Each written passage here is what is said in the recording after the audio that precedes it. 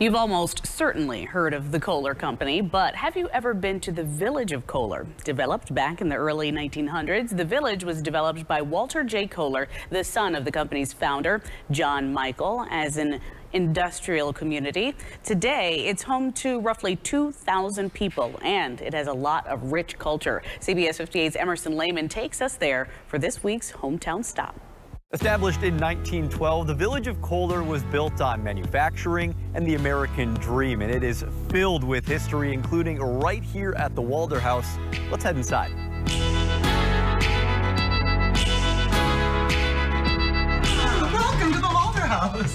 Hello, I'm Jen Balgi, and welcome to the Waelderhaus. The Waelderhaus was finished in 1931. It took about two years to build. The Kohler family is from the Bregenzerwald region in Austria, which is this really isolated little alpine valley. And so this style of architecture came from there. And it was built for the Kohler Girl Scouts and the Kohler Women's Club to use as their headquarters. But it was always meant to be a community space, so we offer free tours every day at 2, 3, and 4 p.m.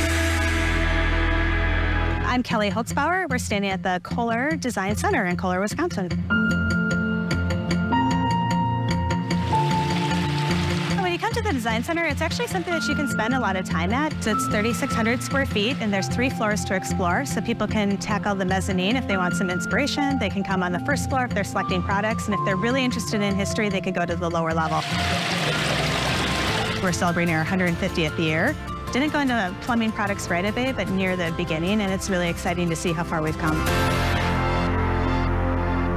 I think the best thing about Kohler is that our product foundation is art. There is a sense of change and inspiration that happens that you don't really get in a lot of other cities. So it's excited to get that here in Kohler, Wisconsin. I love Kohler because it really just feels like a really strong community. And it just feels, it still feels like home for me, which is really awesome. And our final stop of the tour was here at Kohler Chocolates, where back in 2003, Mr. Herb Kohler himself decided that the world needed a better option for the tasty chocolate creation known as the turtles. So the Terrapin was born. It is made with specialty chocolate made right here exclusively in Kohler, Wisconsin. We've got sweet treats, we've got history, and all kinds of awesome artwork here in Kohler. Coming up on Thursday, we're going to tell you why art is so important here in the village. For now, reporting for 58 Hometowns in Kohler, I'm Emerson Lehman.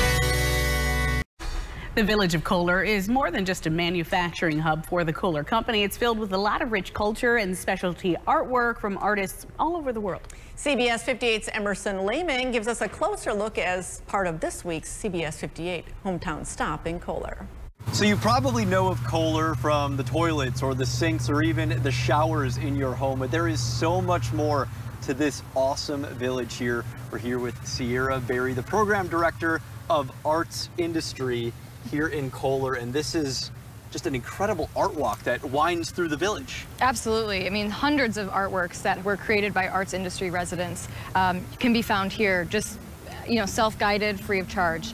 The Arts Industry Program is a residency program for artists offered by the John Michael Kohler Art Center in collaboration with Kohler, um, and actually takes place in the factory. So for over 50 years, we have been inviting artists into the factory to use cast iron, to use cast ceramic, the same materials that you would find in those plumbing products to create their own artwork, to adapt and challenge and uh, see what, what can come out from that. And artwork, obviously a very important part of this village, but as you said, it's a way for the factory and these awesome artists to be able to incorporate everything and come together. Why is that so special here?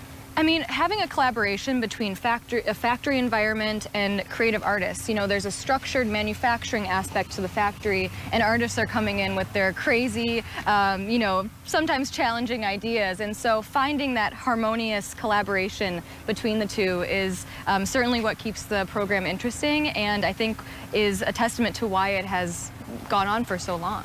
Beautiful artwork, beautiful scenery here in the village of Kohler. This is a really special place for people to come check out. Absolutely. I can't recommend it enough. Make sure if you're in the area, you check out the art walk, maybe stop by the design center, see some of these pieces up close. So much history, so much art taking place here in your hometown of Kohler. Reporting for CBS 58 Hometowns, I'm Emerson Lehman.